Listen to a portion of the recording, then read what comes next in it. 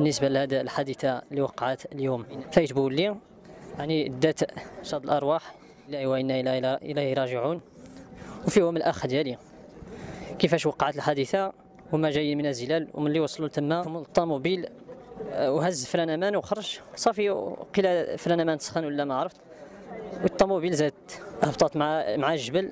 الواد فهذه الحادثة الله يرحمهم. وتعالى يقول في كتابه الكريم وبشر الصابرين الذين إذا أصابتهم مصيبة قالوا إنا لله وإنا إليه راجعون.